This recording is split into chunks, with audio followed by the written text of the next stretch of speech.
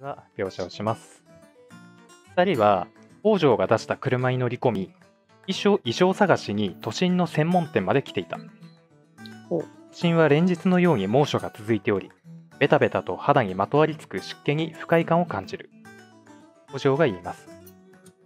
この前の競技会では時間もなくてレンタルだったけど次の大会ではちゃんとしたお店で体に合った衣装を選びましょう。しっかりと自分に合った衣装を着ればそれだけで審査員からチェックがもらいやすくなるものよ。と言ってあなたたちは専門店の中に入っていきます。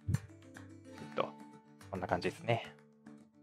ああいろいろ試着してみて気に入った衣装を選びなさい。と言って促してくれます。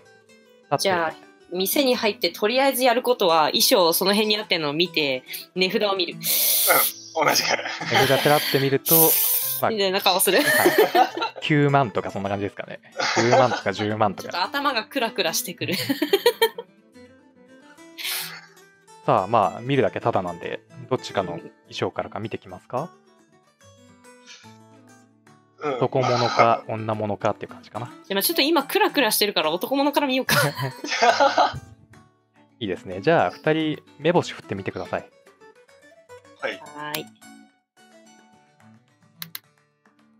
成功。5成功。2人とも成功だね。じゃあ1個画像出そうかな。裏に隠れちゃってるか。画像どこ行った。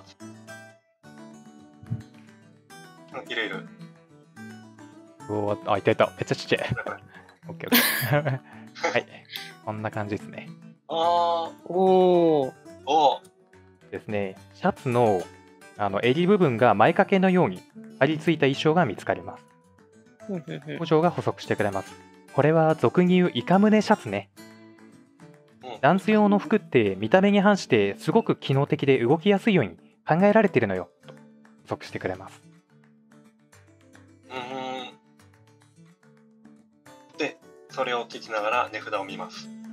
ああ万円ぐらいな感じかな。下着扱いなんでそこまで値段は張りませんがまあうん万ぐらいうん。学生から、みたいな。でさらにですね2人とも成功だったので、えーっと、さらに衣装を探していると、えーまあ、上半身があのスケスケのタイツ素材になっているような 衣装が見つかるでしょどんな衣装なんだろうね。う。一応、ディスコに貼りましょうか。はい。少々お待ちください。こ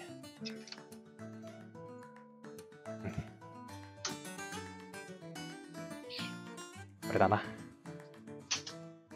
ちょっとディスコだけですが。ほい。こんな衣装です。なんか、カクタスさんが山で来てるのと同じ。おいおい、誤解を生むようなこと。まあ、ニアリーイコールだね。ニアリーイコールだ、これ。いやいやいやいやいやいや。どうします？着てみます？あの、ひくつかせながら、これ着るんすか？じゃあ、ちょっとあの、あの、なんて言うんだろう、すごいちょっと肩を震わせながら、でもちょっと怖いもの見たさみたいな顔もしつつ、でもなんか、いや、どっちでもみたいな、複雑な視線を向ける。工場が、えっと、あ、それは、あれねってラテン用の衣装ね。と補足してくれます。はあ、ラテン。ん、結構体格もいいし、似合うんじゃないやみなさいよ、と。戸惑いが、戸惑いが、優を襲ってます。戸惑いを隠せいない？いや、いや、言うでしょ？言うでしょ？ラテンでなかなか着れることもなく、車でここに来れるようなことはあまりないので、うん。じゃあ自分で見るぐらいなら、一応着てみますわ。はい。じゃあ、来ましたホイ。スの中で着ます。で、見て、頭のにハテナがいっぱい浮かんでますね。えっと、更衣室を北条がシャッと開けます。あら、似合ってるじゃないと、キャーって感じで、あのしてくれますね。上敷きも、の視界にも入るでしょう。私も連れてこられてるから、うん北条さんから。そそんな感じですかね。うんもうスケスケ。っていう。うん、まあなんか思まあ、わず笑う。そうですね。えーっと、みゆは、あの、バラ色の夢心地に包まれ、えー、3が 1D3 回復します。なんで？まあふ、自動で全回復ですけど。まあ、マックスを増やしあ、で。もこれマックスを増やせるもんな。HD3。あ、1だ。マックスになりました。はい。わかりました。男は物、はい。うんそうですね。あの、いや、これ、見覚えあるな、この光景って言いながら、シャーって閉めます。わかりました。男物の衣装はまあこんな感じですね。はい。じゃあ次、女性物の衣装も探してみましょうか。目星振ってみてください。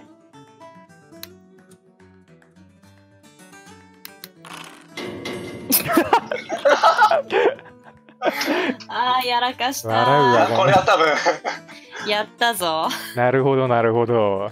いろいろ見てらんなかったんだな。うーん、ファンブルですか。じゃあですね。ファンブルを出したっていうなら、えーっと、はい。女性のあのドレス棚を探していると、1枚画像出しますね。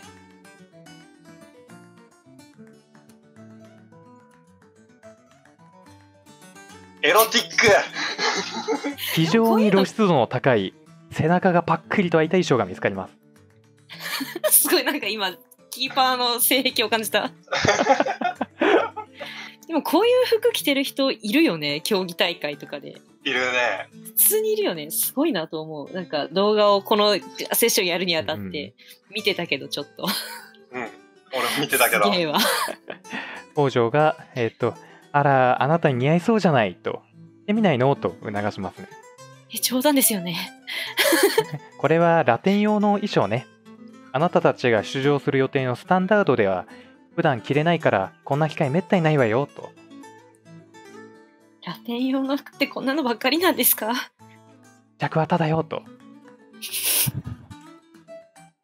でもこれぐらいの衣装なら私も着るわよ、と。ふふと。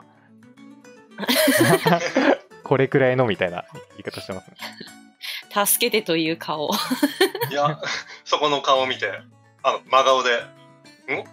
いや、俺、さっき何やったか分かってるよ。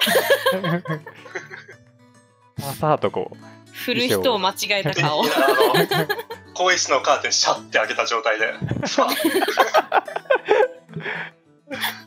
北条も、さあさあと押し合ってきますね。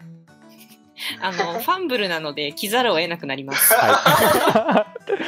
じゃあ、来ました。はい。うわー、エッチやなこれエッチだよ。色白の女の子がこれ着てんだよ。エッチだよ。ー。え、ゆう、マネキンよりうん。色白いもんね。そう。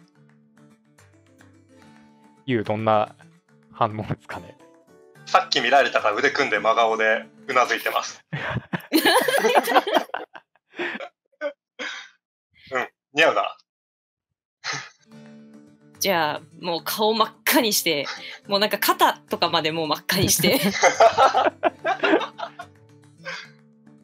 で、そのままシャッて締めます。じゃあ、ゆうは、えっ、と、明日を生きる活力を得た。あ3を 1D3 回してきていいですよ。あ、違いないね。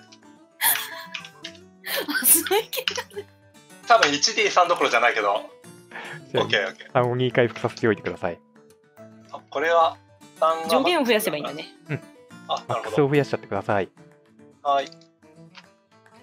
生きる活力を得ました。あ、すごいね。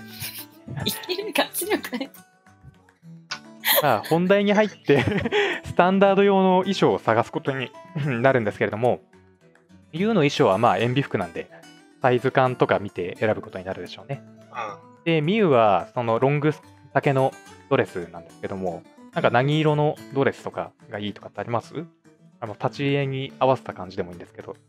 まあ、じゃあ、立ち絵のやつを買ったことにしましょう。うんなんか前のやつは一応その違うなんかおとなしめの黒いのやつとかうん安めのやつを買ってて、今回はあの衣装を。今回はあれを買ったって感じにします。いいですね。わかりました。じゃあ、買うものを決めて、値札見ると、えっとですね、値札には14万8900円って書いてました。はい。えっ、と、クラクラします。あの、払えません、こんなの。そうするとですね、えっと、北条が、あの、あれですね、私が衣装買うわと言って、ひょいっとその選んだやつを持ってレジに向かいますね。そんな悪いですよ。え？あなたたちは大切な生徒ですもの。いい衣装を着て本番に臨んでほしいのよ。でじゃあ行ってくるわね。そそろそろ私の治療費の返済が終わるから、そうしたらまたお返しします、みたいな。あなたたちは北条が買ってくれた衣装を受け取りました。はい。えっとですじゃあ、ね、借金が増えたみたいな顔して、あの、携帯のメモ帳にいくらいくらって書きます。細かい。じゃあ、あなたたちは、えっと、聞き耳でロールしてみていいですよ。はい聞きにうん、これか。お、成功2。人とも成功ですか？じゃあですね、まあ、会計してる間だったんですかね。あの、北条が小声で、私にはこんなことしかできないのよ。これはせめてもの罪滅ぼし。と、小さくつぶやいたのが聞こえたことでしょうん聞こえてしまったからには聞きますね。う。はい。北条さん何がです？いあ何のこと？や、今、なんか罪滅ぼしだとかどうとか。ああ、いや、なんでもないのよ。ダンスに誘ってしまったのは私だし、この前の準優勝のお祝いってことで、ね、これぐらいサービスしないとね。心理学使っていい？どうぞ、えっと、心理学こっちで振る？そっちでこっちで振。らせてもらおうかな。心理学は55。シークレットで S の BD100 で振ろうかな。55です。なるほどね。本郷で振っちゃったわ。これ見えてないよね。S 見えてない。だからわかシークレットダイスになってます。うん、なるほど。じゃあね、うんなんか、いまいちよく読み取れなかったかな。ああ、うんはい。はい。じゃあ、私はなんかじろーって見ちゃったからうん、まあ、特に何も言うことなく、ふーん、みたいな顔してます。はいうんいや、なるみは、そうですね。いやー、うん。何の役にもってことはないですよ。教えてもらったり、いろいろ助けてもらってるんで。ありがとうございます。と言いながら、あの、払ってもらったので、はい。はい。ちょっと申し訳なさそうに。はい。じゃあ、あなたたちは、まあ、そんなこんなで店を出るっていう感じですかね。はい。うん。ちょっと、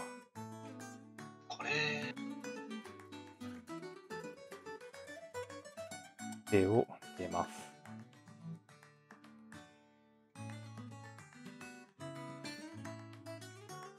ちょっと、かな。描写をします。えっ、と、店を出て峠に出ると、再び都会の謙遜が、謙遜と熱気が君たちを襲います。通りは人であふれ、人混みがより暑さを強調させる。少し歩いたところで、北条がはっと思い出したように話し始めます。本郷に蝶ネクタイを買ってくるよう頼まれていたのを忘れていたわ。取ってすぐ買ってくる。あなたたちは先に車まで戻っていて、と言って、えー車の鍵をそうですね、ユウに渡すかな。いや、あ、わかりました。鍵を渡す際に、えっと耳元で、鍵寄りたいところがあるなら、年ぐらい2人でデートしてきてもいいのよ、と、そこそっとこう、見つますね。じゃあ、聞こえてないので、特に反応はしません。じゃあ、そこで北条さんに、お嬢さん、どのぐらいかかります？すぐ買い終わると思うわ。でも、いいに行っちゃってもいいわよ。ん？みたいな顔する。じゃあ、それ、でっかみじきさんに、なんかちょっと時間かかるらしいから、その辺の店入ってみてよぜ。と言いながら、今すぐ終わるって、って言うけど、多分そのまま引き連れられます。で、近くの店かな？はい。そんな感じで歩き始めるって感じですかね。そうですね。わかりました。じゃあですね、あなたたちは、えーどっか店に向けて歩き始めたのでした。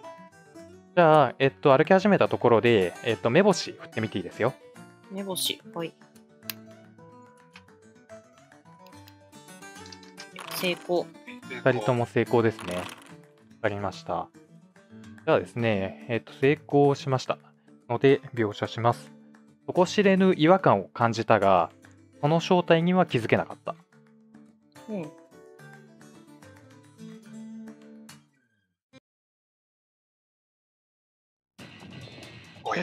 凹凸にふっと影が差し、日の光が遮られる。おっと？落下物か？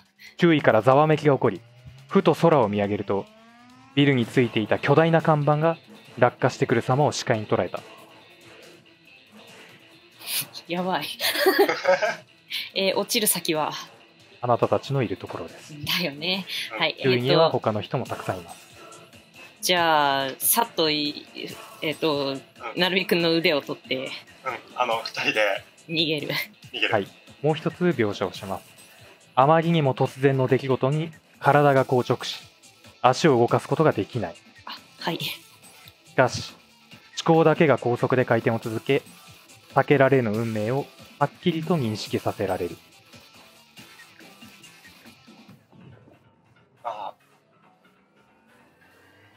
じゃあ、もなかうんダメだと落ちてくるのを、はい落ちてくるのをこう見ながら、ああって言ってる。なんか可愛いな。動けないのは把握したんだね。じゃあ、下打ちしてみよう、突き飛ばすとかできます？えーっと、突き飛ばすのはまあできるけど、そんなにのじゃうんあ、あれかな、避けられないぐらいには大きいでかいんだがね落ちてきてるかな。はい。もうダメだと思わず目を閉じた瞬間、甲高い不協和音が周囲に鳴り響き、嵐が巻き起こる。遅れて発生した衝撃音につられて目を開けると、目の前には薄いステンドグラスのような幕が形成されており、幕に当たって当たったであろう看板は、信号待ちで車の途切れていた車道に突き刺さっていた。じゃあ、もうなんてアンチェッ何が起こるクですねかわかんない。何が起こったかわかんない。アンチェック成功0、失敗 1D3。ゼロ。じゃあもうなんか、え、ポカンみたいな感じだったんだろうね。二人とも成功ですね。へーっていう。じゃあ、俺が、うん、成功だね。はい、わかりました。は何が起こった？でですいう感じですね、ここに、あなたたち、怪我はないって横から声がします。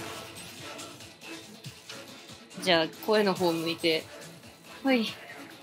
目を向けると、いつの間にか北条が駆けつけてきており、手に持っていたブローチを掲げていた。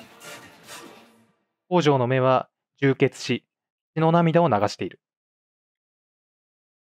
北条がガクリと膝を落とすと同時に、生成されていた幕が消滅する。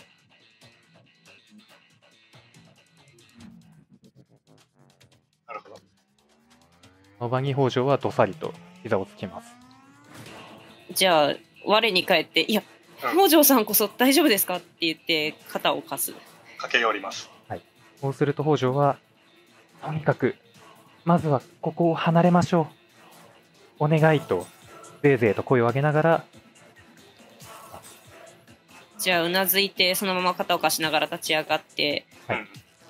車の方まで。車の方だね。じゃあ、現場を去る際に、えっ、と、あなたたちは目星をてもいいです。目星ができる対象は、看板、そして北条自身。この2つに対して、えっ、と、目星を振ることができます。なるほど。成功。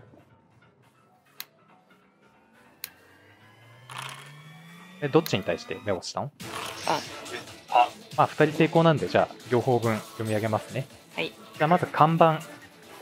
看板を固定していた球部分が強い力によって、意図的に切断されていることに気づきました。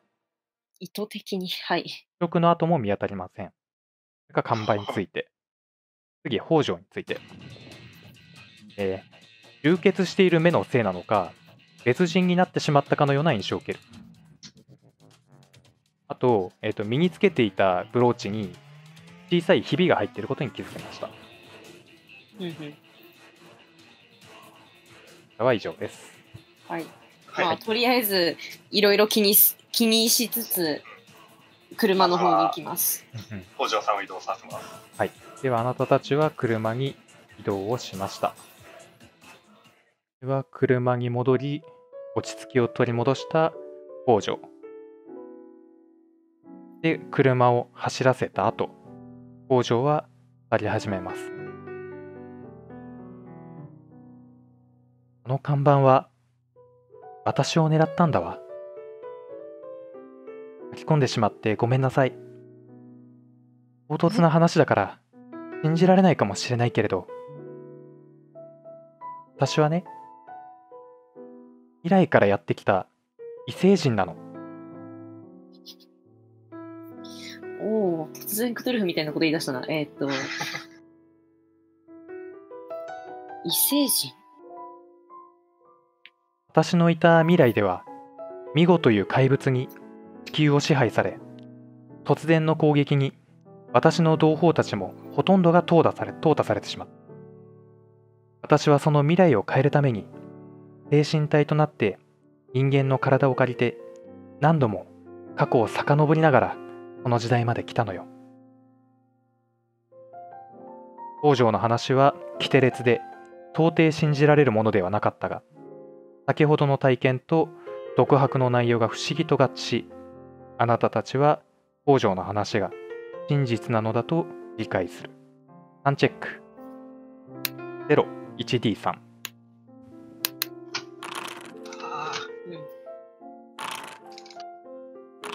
あの成功ですね。はい。北条はその後、車の中で自分のことについていろいろなことを話してくれるでしょう。ちょっと話が長いので、共有メモも貼っておきます。はいはい追加されたかな？はい、されました。えっとですね、北条から聞いた内容の概略は以下の通りです。一つ目、自身の体について。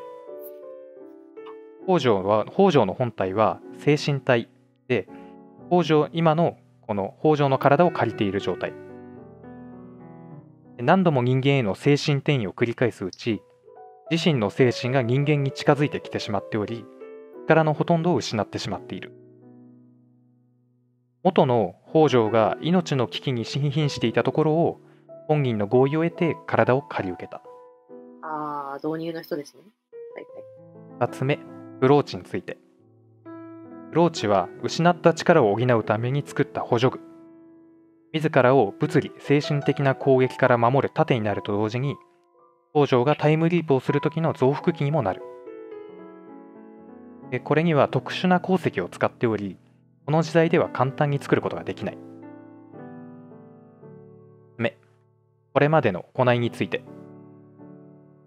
以後に支配された未来を変えるため、何度もタイムリープをしてきたが、なぜか過去に飛ぶために状況が変化してしまい、いつも失敗に終わってしまう。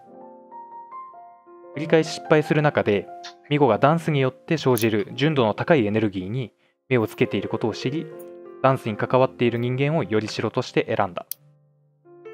前、今よりも未来で、えっ、と、ミュウですね、の子孫に乗り移ったことがあった。その時の北条は今ほど人間に興味がなかったため、この乗り移った子孫のことをただの器のようにしか考えておらず、ミゴの陰謀を阻止する動きを取る中で、子孫自身やその周囲の人間を不幸にしてしまったことがあった。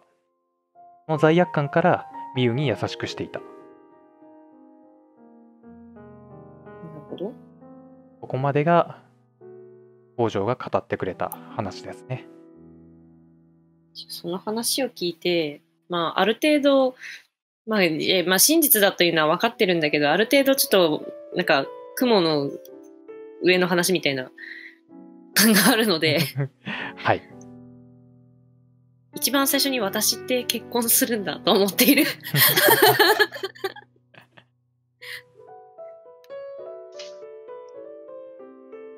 いうは何か？ゆうは、まあ、突拍子もない話を聞いて、そうですね。最初に思うこととしては、あの、力をどんどん失っていってるっていうところがばっかで、体が大丈夫なんです。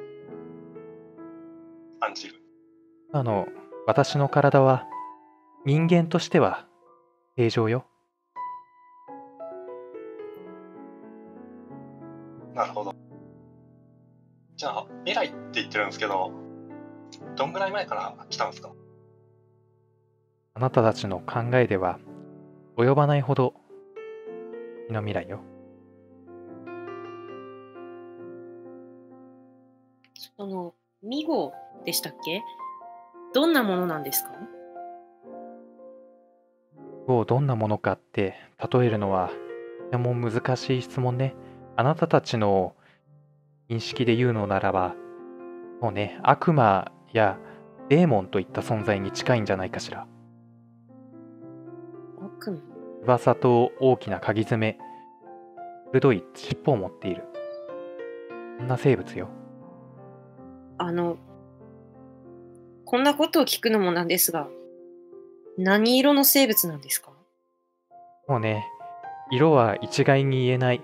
ただ一般的に言われるのは薄ピンク色をしているというような話を聞くわ。私が出会ったことがあるのもそういう答えよ。ちょっとい、なるみに視線を送ります。という顔で、それに気づいて、ミユの方を見ます。見たことあるよね。ああ。ちょっと思い当たるところがあるな。話を遮るように北条は、えーと自分の話を進めます。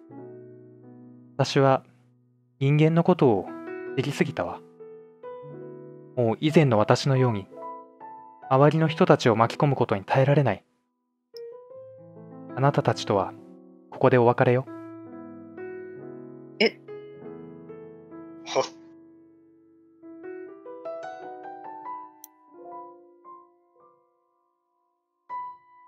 町 に帰ったら私はあなたたちの前から姿を消すわ。それは、私たちというより、本郷さんはどうなるんですか？私はもうこの町から姿を消す。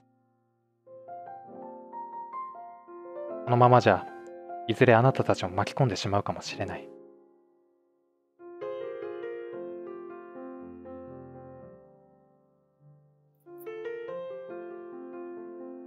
とかできないんですか？そうは言いますけど、私たちをダンスに引き込んだ時点で、もう巻き込まれる確率があるんじゃないんですか？さっきの話だったら。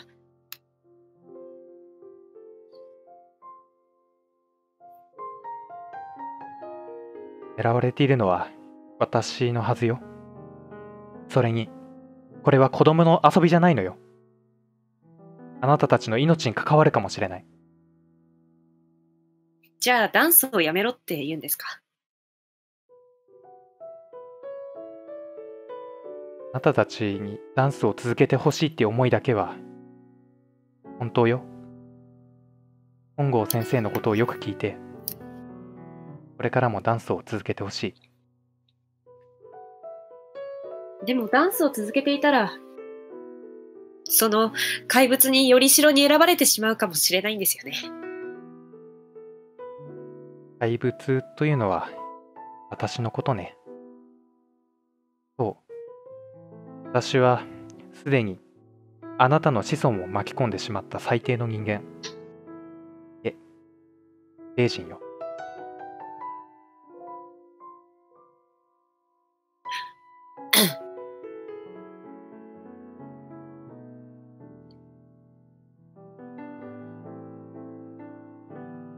それでも。ああ、そちらではなくてって言って、うん。ダンスによって生じるエネルギーっていうのに怪物が目をつけるんですよね。そのうん。ミゴっていうやつが。もうね。だったら私たちが上手くなればなるほど、目をつけられやすくなるってことですよね。そう。かもしれないわね。じゃあ、負い目があるなら、最後まで私たちの面倒を見てくださいよ。ユウあなたはどう考えているの？申し訳ないけど、一緒に成長するとこ見てってほしいですね。僕らも遊びでやらず、これからの人生考えながらやっていきます。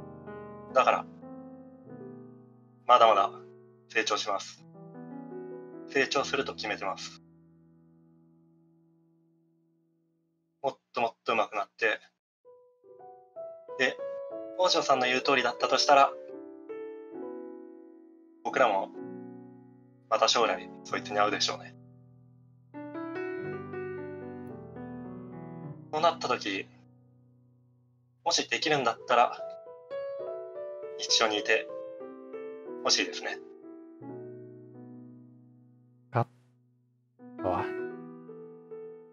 も少しでも危ないと感じたら自分のことを優先するって約束して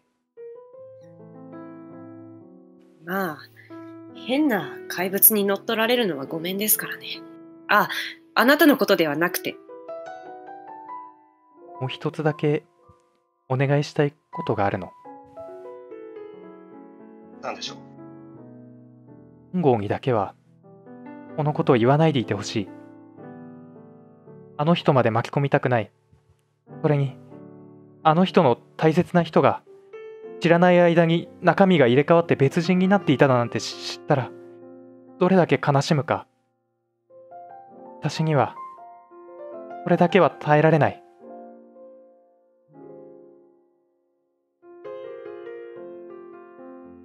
ああ。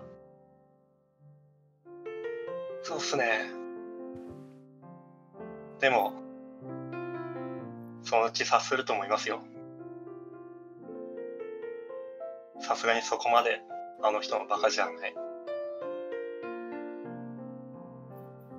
多分分かったとしても一緒にいてくれるんじゃないですか。バカだから。そこは。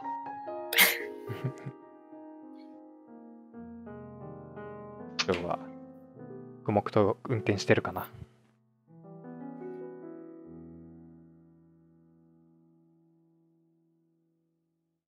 せっかく新しい衣装も買ったんで、それ着て踊ってるところ見てくださいよ。そうね。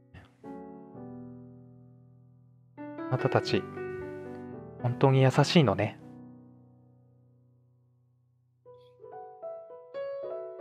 ありがとう。それともう一つ。あの神宮君には気をつけて。ああ、そのことなんですけど、以前会場で彼のダンスを見た時囲碁の力の残滓のようなものを感じたわ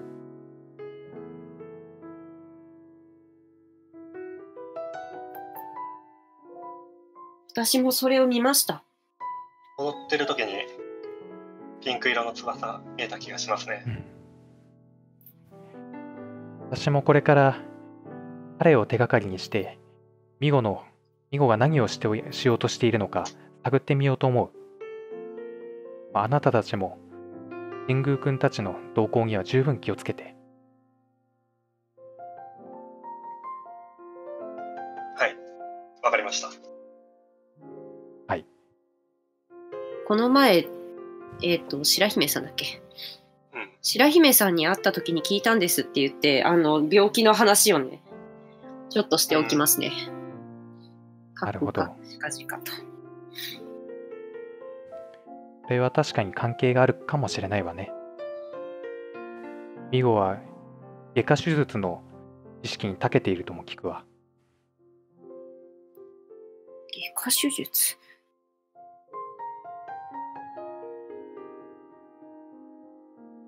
はい。このシーンは、こんなところかな。北条が話した真実。暗躍する見を。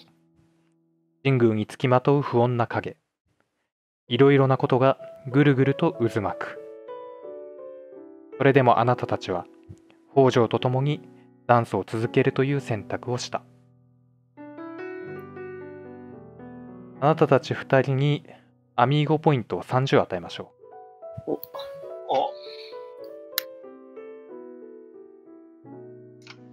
135になります。お増かなり増えてきたね。えてきた。アミーゴポイントになっちゃう。天井天下祭で使い切るつもりで。いや、まあそこから1、2週間ぐらいまた時間は過ぎっていう感じですかね。はい。特訓パートに行きます一個。だけ、あの、髪染めに行っていいですか？今日おなんか、あいつとの話もあったしっていうところで、うん。はい。じゃあ、変えちゃってくださいな。おあ、足が長いな、こいつ。ちょそうだね。っと待って。切ったやつは出し投げたよね。あったもらった。おー、すげえな。黒くなったな。黒くなったな。真っ黒だな。真っ黒だよ。いい真っ黒になったね。じゃあ、なんか、特訓の時に現れて、そうだね。この紙で現れて、なんかギョッとしますこの紙やめたの？いや、なんか、この間、変えた方がいいかなって聞いたじゃん。学校からも注意は受けてたんだけど、これから先やっていくとなるとよ、ちょっと真面目なし方がいいかなってよ。まあ、似合ってるかどうかは知らんが、うん言いながら、うん、準備を始めますね。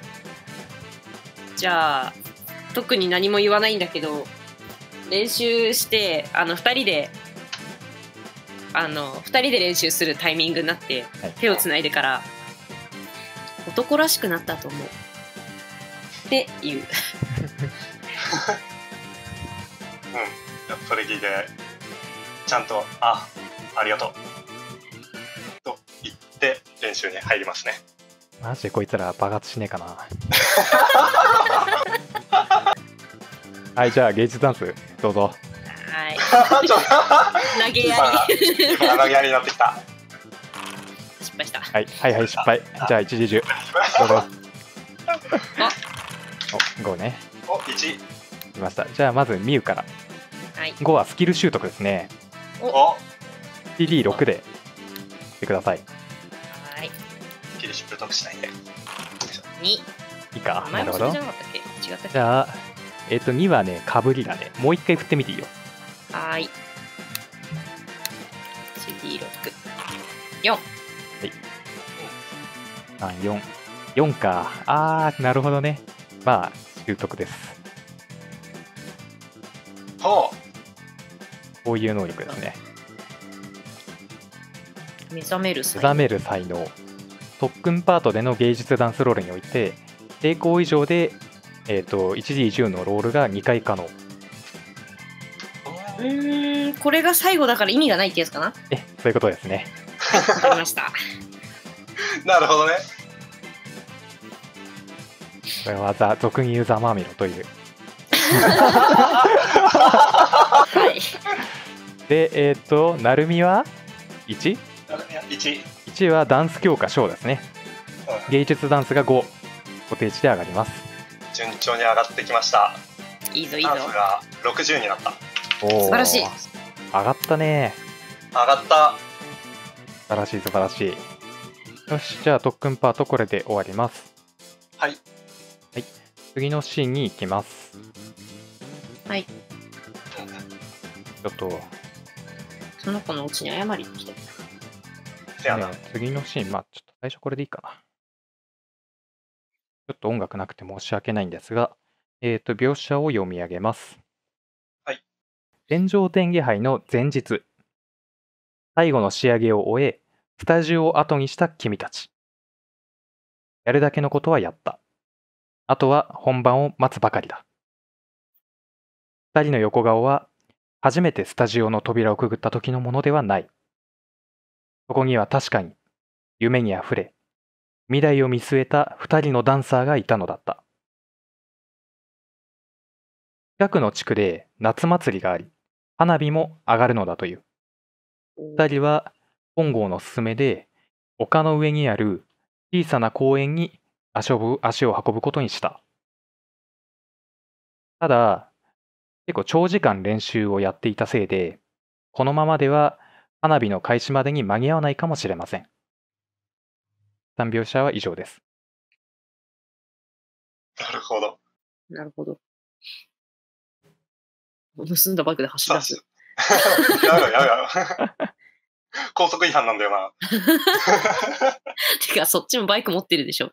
そうそうそう、自分の高速違反。自分高速違反を今してるね。うん、そうだね。バイクで行く？バイクで行くか。行くの？ここだけは。バイクでじゃあ振ってみてください。二人乗りは完全に違反だからダメだぞ。数字の2。すごい成功。成功ですね。はい、わかりました。じゃあ、裏道を選んでね。裏道なんでね。はい。じゃあ、えっ、と、街灯、灯籠などで装飾され、がらりと雰囲気を変えた街を通り抜け、人気のない公園にあなたたちは向かっていきます。背中を通して感じるお互いの熱が心地いい。そして公園に足を運んだあなたたちは本郷の言葉を思い出します。公園にある見晴らし台が花火を見る花火を見るのに絶好の穴場だということ。あなたたちはその見晴らし台に向かって登り始める。急に降ったにわか雨の影響か、濡れて滑りやすくなっている足場を君たちは慎重に手を取り合い登っていく。登り終えた先には街一帯を見渡すことのできる絶好の景色が広がっており、タイミングを合わせたかのように花火が上がり始めたのだった。いや、マジか。ユウの背中にミュウがくっついてバイクで移動してんの。うん。胸はね、だいたい D カップぐらいだね。めっちゃでかいやんけ。背中越しにね。え必要な情報かなと思って。うん、大事だわ。逆にユウに抱きつく感じになるからね。そうだね。いや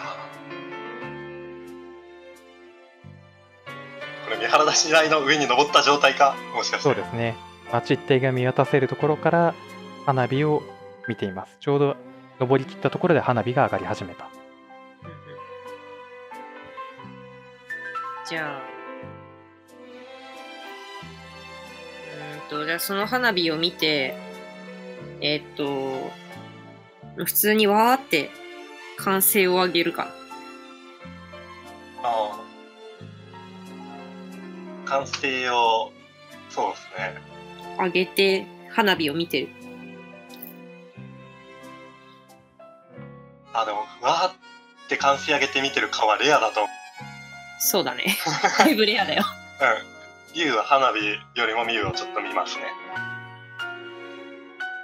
特に気づかないよ。うん じゃあそれを横目で見た後うん花火の方を見ますね久しぶりに花火見たな私も。そんなもの楽しむ余裕なんてなかった。あ家族でもなかなか来れないしな。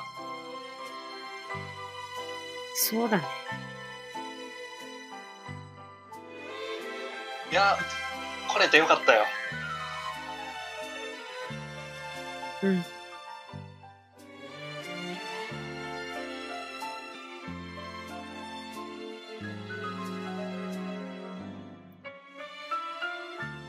なあ。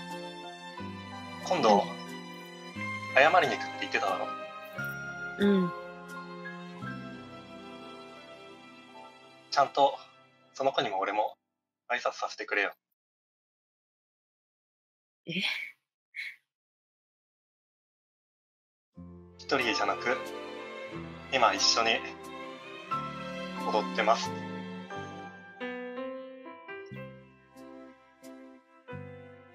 別に。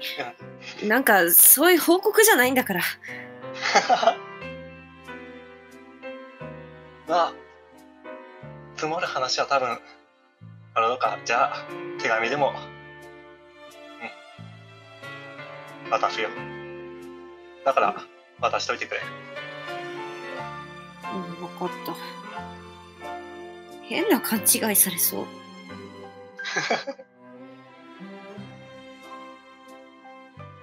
や。勘違いね。されても俺はいいけどな。バカじゃないの？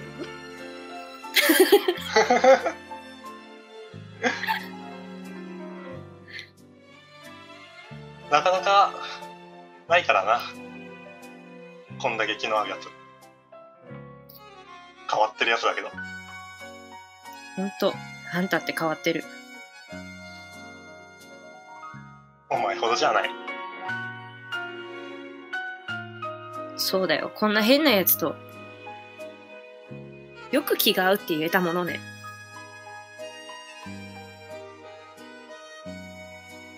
意外と合うと思うぞ恥ずかしがり屋なところとかもあるしそうかしらっつって。えっ、と、うんもう、かたくなにそっちを見ない。じゃあ見ないんだったら手つなぎますそういう雰囲気に持ち込もうとしてるな、こいつ。よし持ち込んだんすけどえっ、と、じゃあ、まあ、ビクって反応するけど、特にそっちも見ず、うなんかじゃあ、空いてる方の手で髪の毛をうりうりいじる。んかわいいかよ。なるほどね。あそこで花火見ながら。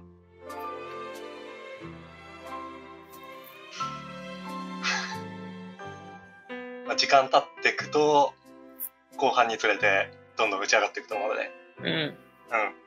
花火、クライマックスが近いぞ。そうだね。いつ謝りに行こうかな。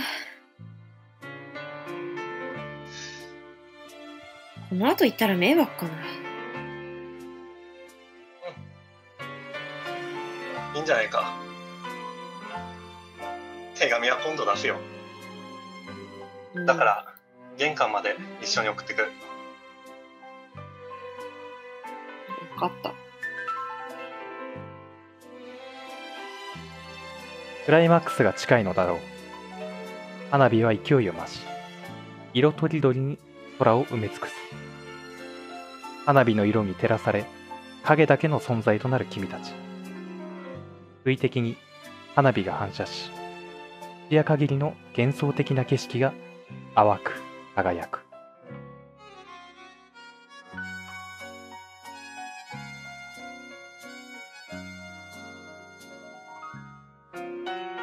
じゃあ特に私の方からクライマックス終わるまで話しかけることはもうせず、うんずーっと静かに黙って花火を見ている。でじゃあ、手つないだ状態でクライマックスが終わるかぐらいのところで、キスをしようとします。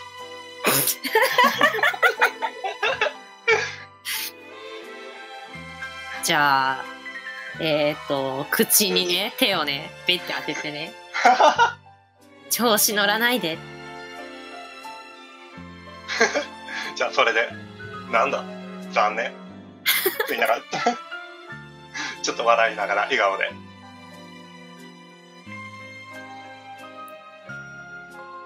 でも、そう言ってる顔の方が最初に会った時より可愛いと思うと言いながらクライマックスの針を見終えるですかね。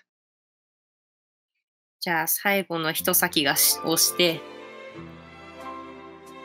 でもまあ別に繋がれた手はほどくことはないけど、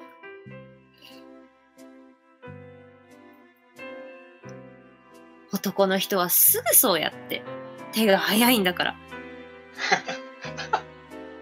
で 文句を垂れる。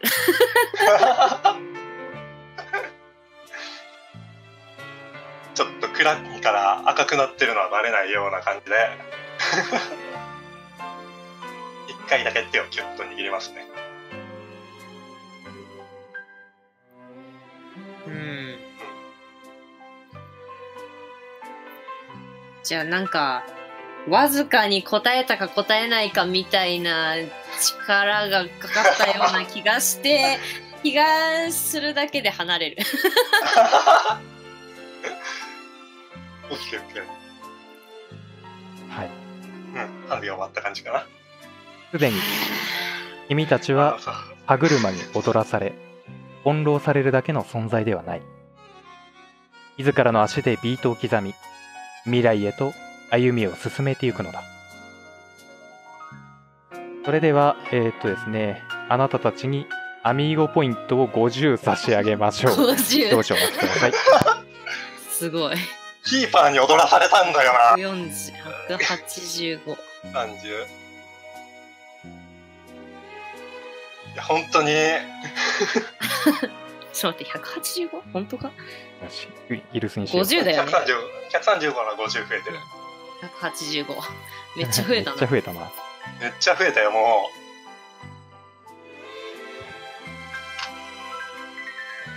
そしてですね、はい。ミユは感情の高ぶりによってうん固有スキル、額縁の花を習得します。おう。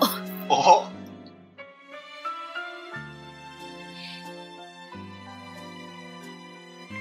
額縁の花。卓越したフォロワーの美しさは観客の目を魅了し、リーダーを助ける大きな推進力になり得る。リーダーが行う芸術ダンスのロールに20%の補正をかける。おーなるほど、なるほど。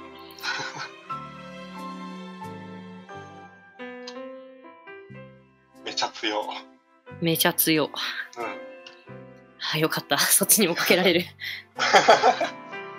というメモにを入れておきました。ありがとうございあります